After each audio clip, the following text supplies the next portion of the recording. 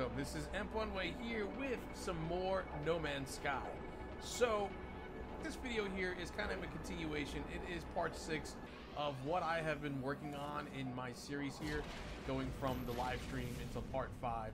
And these events in this video do take place after part 5. So this is my continuation. Uh, a lot of cut scenes here, a lot of cutting and editing as I go through the game and show some important aspects of what's going on. I kind of wanted to take this video as an opportunity to discuss not only my progress, but my thoughts on the game. So this is not a review. I don't do reviews. I'm not an expert. I'm just a guy who likes to play games. But we've been talking about this game a lot uh, with friends, and, and I've been seeing here on YouTube and around where I when I read articles everywhere on different websites and with friends and stuff like that. And you know, it's just one of those things I kind of wanted wanted to address and talk about uh, in in the hype of this game and what it meant. So here you can see I'm at a trading post here or a trading station, and I'm talking to one of the aliens there. And one of the things was people complaining about the whole interaction with aliens. Now there is choices to make, and your decisions do affect the outcome of what that decision will be or what it means. Here we can see that we're we're discovering more lands, and this one happens to be a discovery of a waypoint, which opens up uh, something in the game that was previously hidden. So something that you didn't find before, it kind of gives you the location for it uh, to go find it and make it easier to find. Here we're at, at an outpost where we go meet an alien, and again we have to interact with that alien. You get to pick up some cool items here, like a new multi-tool where you can compare it to the one you have, and possibly buy of the better multi-tool if it is indeed better. In this case, it is better. Mine has 10 and this one has 12. So I do wind up picking that up. And you can see here in this interaction, my choice rewards me with a tribute or some new technology that's been discovered. It gives me a blueprint because I chose the Warriors. They gave me a choice to make. And that choice panned out for me in a good way. Here's another big important aspect of the game where you have to go and find these drop pods. These drop pods give you the opportunity to increase the storage of your exosuit. And inventory management is a big part of this game. It's super important, and it needs to be one of those things that you do address as the game plays on because you will need more and more inventory. Very, very important that you are following that aspect of the game because even if you're trying to get to the center of the universe and you're not following the Atlas path like I am in this video and in this series, you're still going to need access and have the ability to manage your inventory as much as possible. Here you can see me just simply going through and trying to pick up some resources and we'll see that some of the sentinels do get hostile and you do have to fight them off. And the combat, the ground combat of this game is rather simplistic and a bit clunky. Um, when you get attacked by an animal, it's kind of it's kind of difficult to take that animal down as they attack you. They don't do much damage I mean, you're able to kind of keep yourself alive for the most part, so it's not terrible, uh, terribly hard combat. Maybe that's something that will change as as things go on and they do add more content to the game. They have talked about you know dropping some free DLCs and things like that, and if they hold true to that, that would be amazing. This game has a great foundation. Um, something that you know developers and a small independent company has been working on for five years. That is amazing stuff, and it's only a few people, a very, very small team. This is not some AAA studio that made this game, and the beauty that they put behind it, and the artwork, and the attention to detail, and a lot of aspects, really, really makes this game what it is. And you know what? It was exactly what I expected it to be. I didn't expect anything more than what I've seen and what I've gotten so far. Yes, just like any game that's out there, you're going to see repetitiveness. You're going to see things that happen over and over. You're going to visit planets, and it's going to be the same concept where you're going to pick up resources, or find that drop pod, or find that crashed ship, or something to that effect. Here, you're going to collect some money just for just randomly finding this location. You get money for doing so. And you know what? There's nothing wrong with that. There's nothing wrong with the repetitiveness because each planet is unique in its own way. And I mean, if you're traveling the galaxy for real, what do you expect to find out there? How do you expect this to look any different than what you see here? Planets are going to be planets. An ice planet is an ice planet. It's going to be cold. A volcanic planet is going to be a volcanic planet. It's going to be hot. So, you know, putting the expectations super high, even though it seems like the cool thing to do, it's not the right thing to do. This game is everything that it was intended to be, and their big thing was about discovery. That was their big selling point to this. Go out into the universe and discover things and name things. And that's what the great part of this is. I can name any planet or any outpost that I find or any animal or any plant. I can name it anything that I want, whatever I feel like doing. This game is more cathartic and therapeutic than anything else. I come home from work, I go to play this game, I fly around, I discover new planets, I warp into another system completely, and I am enjoying myself the entire time. I have my own ship. I can go buy a completely different ship when I get tired of it. Here is another aspect of the game that kind of drives through the storyline that is of the game. It's not a huge storyline. It's not super deep or in depth, but it is part of it. You have to go find these monoliths this happens to be a Vy'keen monolith, and you know what? It gives you some story of the game. Is it super deep? Is it super detailed? No, absolutely not. But it's just enough to keep you interested and to keep you wanting to go back for more. And I think that's really the, the point here. But again, the foundation is there for something that's going to be more amazing as they go on. And if they do hold true to their promise, like I've said before, and keep adding content, this is a great foundation from an indie studio. They will have the ability because of what the populace has done and the community has done in buying this game to further their resources to make this game even better. Here's one of the aspects of the game that I do wish they would improve, which would be the map. The map is kind of useless. Uh, it doesn't really give you an indication of where you are. It's just a bunch of stars on on a screen, and it, there's really no rhyme or reason or sense to it. And maybe that was intended to be that way, but I wish I would fix it a little bit easier so you can kind of find where you've been and where you're going type of deal. Even if I wanted to go back to something, it is extremely difficult to find where I've already been to kind of head back that way. Now, in this portion of the game, this is where I am going to visit that Atlas interface, which is integral in this part of the game, the path that I have chosen. I have not chosen the exploration path, I have not chosen to go to the center of the universe path. I have chosen the Atlas pathway.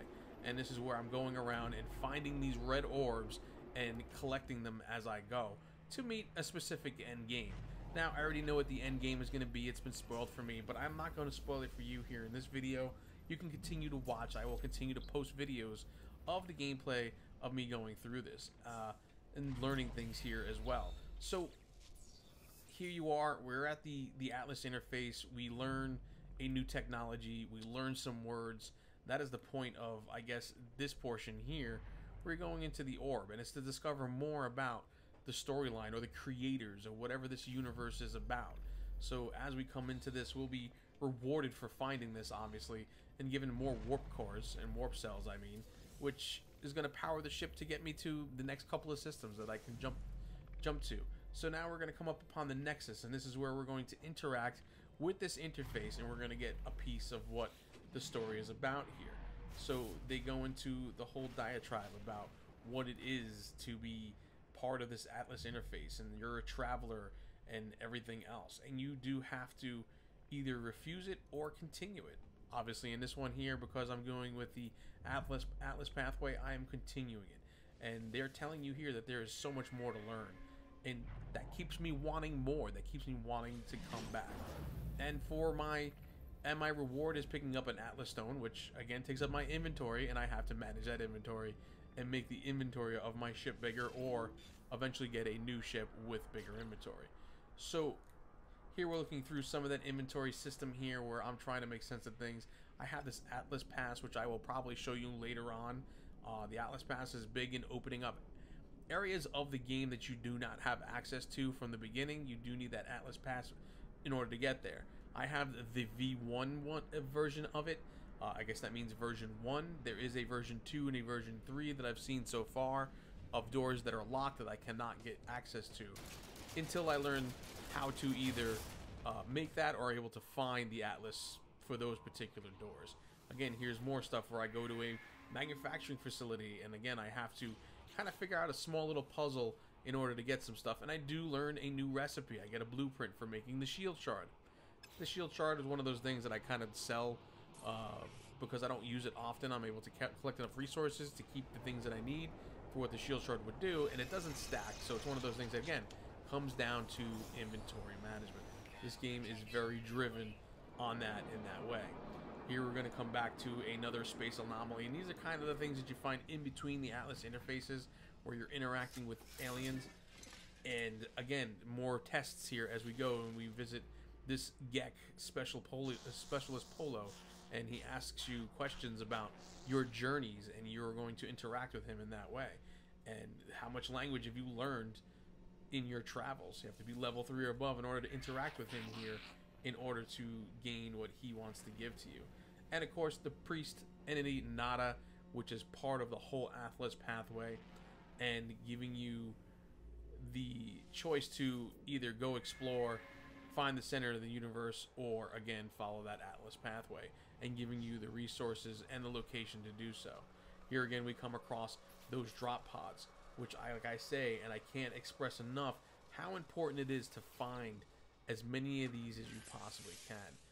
I believe I've seen at least three on one single planet. You can probably find more if you fly around enough.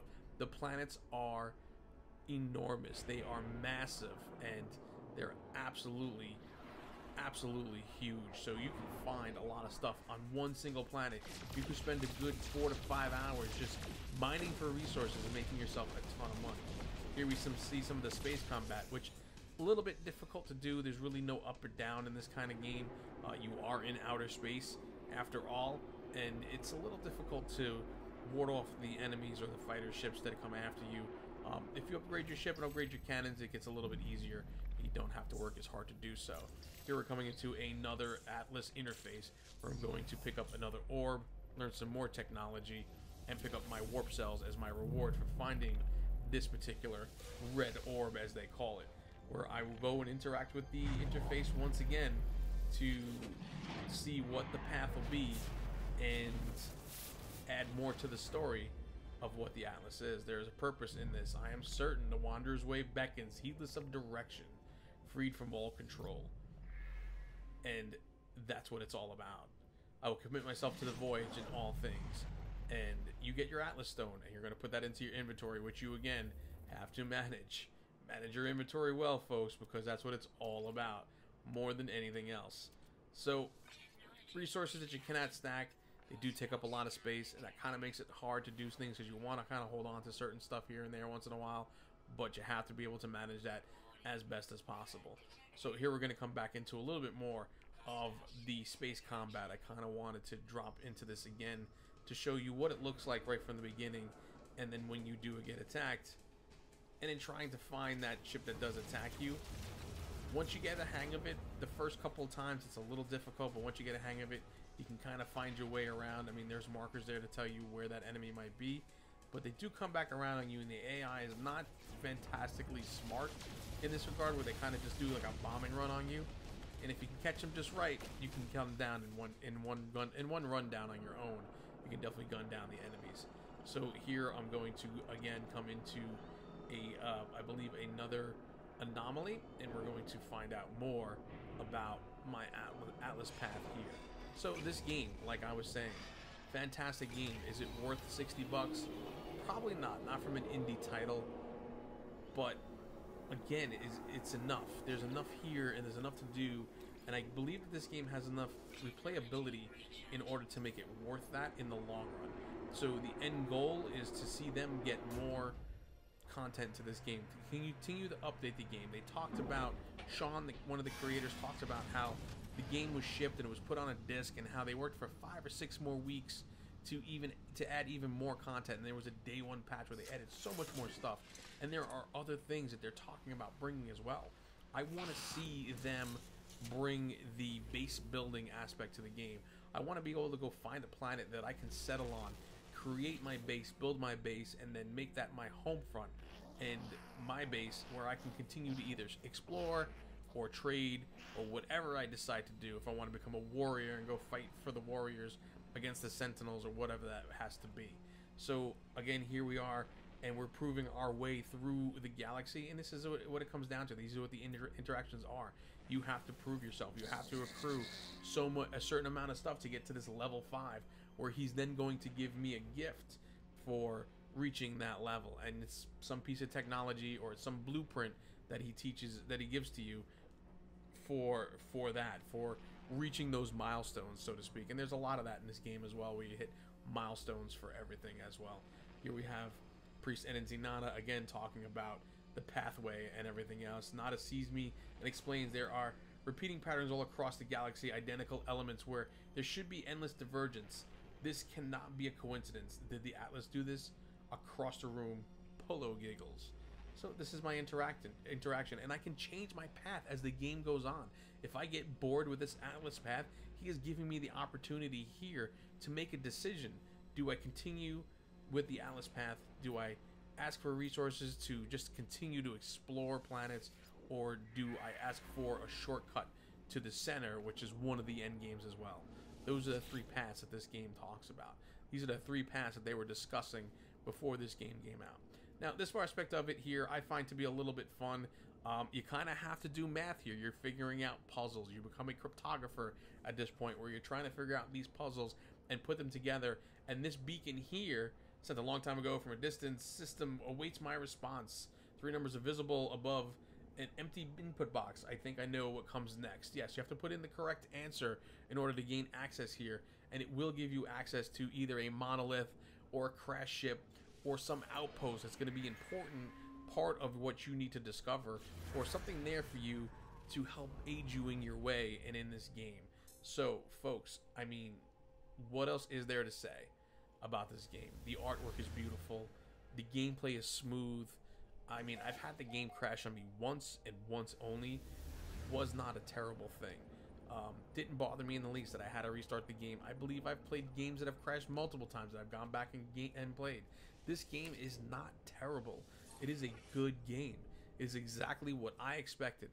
The expectations of others I cannot speak to and I cannot speak about.